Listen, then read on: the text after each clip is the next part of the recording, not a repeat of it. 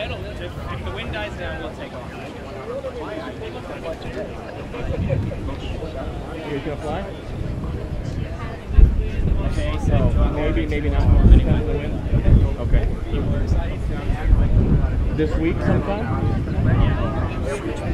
mean, it rocks around on the Oh, just today. Okay. motion you see is just the whole craft kind of rocking around. Yeah. So if the wind is agreeable, they'll fly today. But it's their only shot because it's their assigned time slot. The uh, production version, uh, it's going to be more like uh, 1900 uh, little hybrid.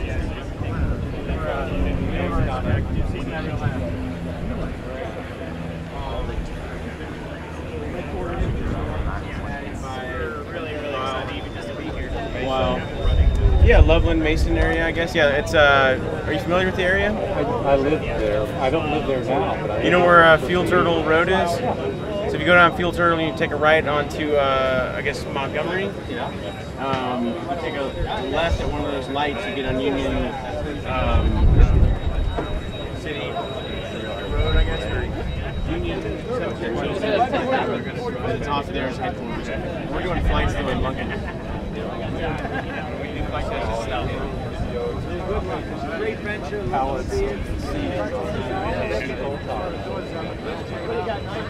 It's actually nice to, you know, that we have a good relationship with them and it keeps everyone safe.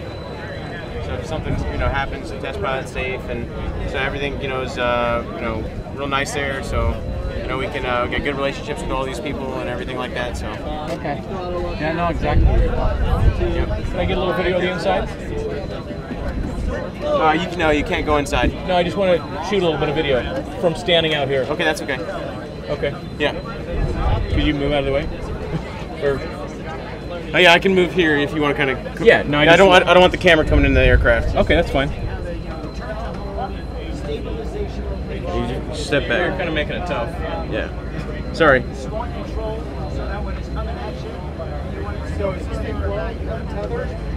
Yes, sir. Yeah, we do test flights daily.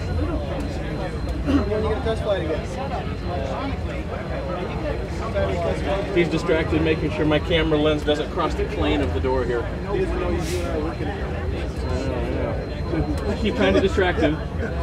No, seriously, when are you going to fly again? Uh, we're gonna be flying um, at 247. Not sure what the. Not at all. We actually, our, te- our test pilot is a rotorcraft pilot. He's an Army pilot. Uh, yeah, 245. After Yes, sir.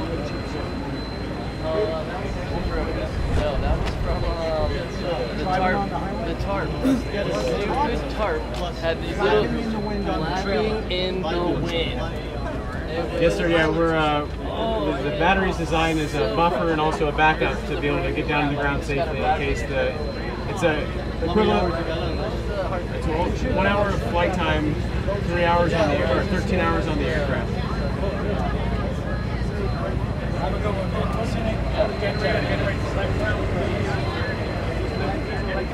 Yes, sir. Yep.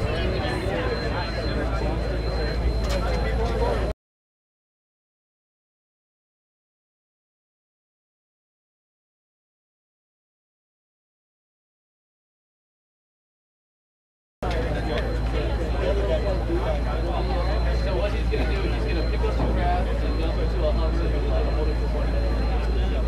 It's a really short flight, uh, but it's a hard development. Last year it was a static model. This year it's uh, we're actually excited to show everybody what we're doing. Uh, we've been flying since May. Um, so we, we don't want to go too crazy with our demonstration, but we want to show everybody behind the scenes of what's going on. What are you telling us as the general public? How far have you flown? And Yeah, I was about to ask what Oh. kinds of things have you done? Oh, yeah, even even regardless of what you do today. Yeah, so we we, we, we, uh, we we only fly at five feet. It's been at the max at ten feet, um, and then we do we've, we've done pedal turns, we've done roll commands, pitch and roll, and yaw. So we've done all the access. It's really doing incremental testing, Yeah. little by little. Yeah, and because of the battery pack is so small, this is a reduced battery pack for the weight. Um, that we're only able to fly three minutes at a time. So we have over an hour of flight time, so but three minutes at a time. But again, it's all incremental, so you start as light as possible. Yeah, right. You get bigger batteries later on. Exactly, and then these are all off-the-shelf components at this point. Oh. Um, so none of this is optimized, or customized at all. So it, these are all just very rude and crude uh, measurements. Because you don't have 10 million bucks right, to exactly, blow on right. new stuff. So yeah, so this will we proved the concept. Hey, we are able to fly and have stable flight with this configuration. We just need uh, you know our own custom motors and custom propellers, and we'll be ready to go. So what are these mo- what's this the details on these motors? So these motors are uh, these are an EMRAX, just Slovenian company who makes these electric motors here. These are uh, 87 inch uh, propellers right here. Um, so we're gonna actually scale them up to uh, 92 inch propellers. Okay. And then we'll also have more available torque. That's that's our limiting factor. This Can you point. tell me what the horsepower and torque on these motors is? Uh, so I actually don't know Or off the top of my head, but I do roughly? know that they're about it's uh, 25. We're pulling about 25 to 30 kilowatts, which is about Total? Per motor. Oh, per motor. Okay, Right. okay, okay. And then so we so that's like 40 horsepower or something, Right, maybe. something like like that. 750 watts of horsepower. Yeah, I actually don't know the conversion. I'm sorry. I, Googled I think it's the Yeah. 750 watts per one horsepower. Okay. Or it's right around there, 746 maybe or Sounds something. about right. Yeah. Okay. Yeah. Uh, what I can tell you is that we have a 300 horsepower engine that runs nominally to power everything, and then it's Oh, in here. not this one, but that's that's the next step. It's a 300 300 horsepower engine with 350 peak power that generates the electricity. Ah, so it's going to be a hybrid. It's a hybrid, exactly right. So you Ah. have battery backups and also a battery buffer in case you get a big gust of wind and you need more power all of a sudden. So when it runs out of gas, will it go for a few minutes on battery power so you can land it? Is that the idea? No, the idea is that the battery's there just in case the engine goes out. It's a redundancy built in. Okay, so, you want to land before the you're out of gas. Yes, exactly right. you Okay. know, and you'll have your reserve built into that as well. So you'll get one hour of flight time with two people plus your reserve, and then also That's the goal. Yeah, that, that that's what it's spec for. We entered our type certification with the FAA, and that's Oh. what we submitted with them. Okay. Um, and then with uh, one person, you can fly for two hours with your. Because lighter weight, you have less weight. Yeah, so it's just a balancing act, just like So, everything. so really the original concept was put a 300 horsepower gasoline engine in and run electricity with it? yeah, exactly right. Yep. There's another vehicle in one of the tents over here. Uh, that and the guy, there, I think it's like a motorcycle, kind of with three Yeah, yeah, exactly. three right. fans. Right. Same thing. Right. It's hybrid. Yeah, exactly. Just because the battery technology isn't there yet, Right, You know? right. And then you start burning through battery packs, you- it gets very expensive. Right. So, specific energy of gasoline is still just So, higher so than. is this all just a proof of concept or is there a final end customer you're looking for? So this is a proof of concept, but there is a final end customer. There's a military disaster relief as well as uh, we have uh, a lot of people already interested and put uh, pre-orders down. Call me if you need me. Okay, sounds good. Um, so yeah, we already have uh, pre-orders in, and uh, we have already have a market Uh, what about just as like a commuter? It Yeah, sounds like it'd be great for commuting. commuting, and then It uh, goes an hour. Right, and a lot of people have approached us about that, like, oh, I want to start an air taxi in Indianapolis Oh, or things like that. wow. So, yeah, so that's it's been exciting. So you know that you got people that want to buy it. Yeah, exactly. I'm always wondering what is the what is the first from the surface up to about 50 or 75 feet going to look like around a city with all these things zooming all over the place? right. Is it going to be just as bad as these stupid cars? Well, That's a just think just think of the factor of of increase in the space you've got though, right? I mean, right now you got one layer. Well, you could have In 50 rural- layers. In, rural areas, you could have 100 but layers. I live in Chicago. Yeah. There, that space is already occupied by a lot of Uh, freaking concrete, yeah. man. You don't have that much. no, space. no, no, right, right, right, And, right. and, and it- the concrete, you know, it's just a concrete jungle, and it finally goes down. Yeah. You know, but even at, even in uh, out in the suburbs, I actually live out in the suburbs. I live in Chicago. I would be caught dead in there, and that's probably how I would be there. Yeah. It's pretty nasty there. But anyway, I'm just imagining these guys. I mean, what, what would they do? Like, look, look at this craft. So let's say it's 10 feet tall, right? So this craft, for a safety margin, I think would at least need 10 feet below and 10 feet above. So this thing needs a 30 foot slot. In other words, not to run into things. Right. So they're going to assign 30 foot roads. But you know, if it's This guy- electronic and you've got thousands of feet, I don't know. I think the potential is pretty huge. And depending on Well, like, if this thing can go thousands of feet, but right now It we got that battery issue, right? yeah, right. But no, uh, but I'm thinking of the potential. we're, have it spec Oh, yeah, for 5,000 feet. Okay, but, but but you got no. Well, that's a lot of 30 foot chunks. Yeah. Right, but you got nowhere near the, the power to do 5,000 feet yet. That's way off into the future. Uh, no, it's three years off. That's how far we are. We've Well- already entered our type But certification. now you're Pessimist, 5,000 optimist. Uh, No, wait, wait, wait. But now you're 5,000 feet flying with me. Okay. Okay, and I'm good doing 175 knots. This is limited to 70 knots. Yeah. well, and besides, Get no one's going to thing out make of the you. Way. No Get one's going thing to. out of the way. Oh, right. I see what you're saying. Okay. Right, I got you. Okay. What's So, going on here? in other words, when you hop in an airplane, Yeah. you don't want to be worrying about if you're going to Yeah. collide with one of these. Yeah. You're not a pilot. Yeah, because he's going slow. You're not that, pilot, makes, right? that makes sense. Eh, no.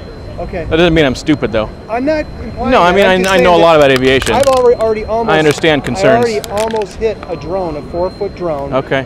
By an airport. that's a pretty big drone. That was totally fucking illegal flying. Yeah. Because, you know, the FAA's trying to regulate those guys. Right. Yep. Okay, I come so close to a drone in my airplane. Yeah. That's what would have happened So the you're drone? pretty concerned about it, yeah. Yeah, the owner Like, would have lost yeah. a twenty-five hundred dollar drone. I'd have lost my life. No, Yeah. right, It's- right. It's a real concern. so Yeah. that's I- so I mean, if everybody was in these and all us were gone, and I mean, guess who we get?